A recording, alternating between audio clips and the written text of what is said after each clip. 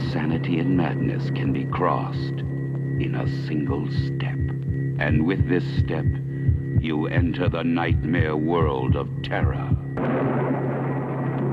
Judge Cameron, whose iron self-control hides the urge to kill. Harriet, a mother's love, twisted into the malignant shape of evil. The sergeant, living in the hell of an aimless war, fighting a battle within himself that he lost long ago. Allison, in a desperate need for love, an obsession that could drive her to murder.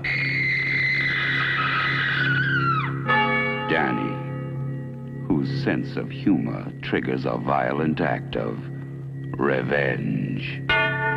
Dr. Masters, who has her own idea of the gentle art of healing. And Charlotte, who left the world of sanity and security, only to be trapped in the nightmare world of madness, a nightmare she cannot escape.